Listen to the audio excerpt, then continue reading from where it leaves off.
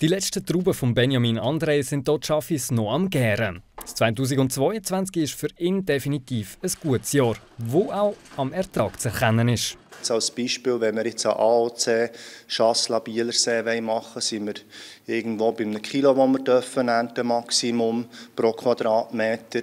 Ich denke, jetzt dieses Jahr ähm, ist man sicher irgendwo zwischen 700 Gramm und einem Kilo, wo man letztes Jahr vielleicht äh, bei 300 bis 500 Gramm war. Oder? Also jetzt so ein bisschen als Beispiel, äh, das sind schon zwei Welten, denke ich.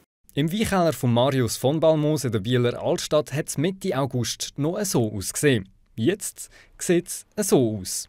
Der junge Winzer macht das Jahr zum ersten Mal eigen Wein. Für ihn hat das gute Jahr auch Stress gebracht, weil die Lese schon fast einen Monat früher angefangen hat.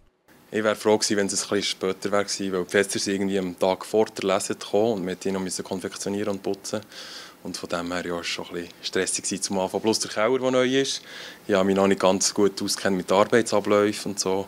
Alles das erste Mal.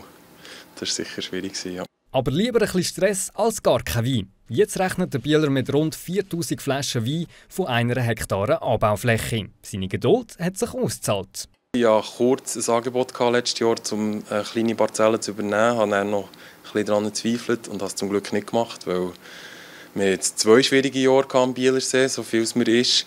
Und äh, dieses Jahr kann man sich wirklich nicht beklagen, was Quantität und Qualität angeht. Also ein super Jahr zum Starten. Jetzt liegt das Augenmerk darauf, dass der Wein gut durchgärt.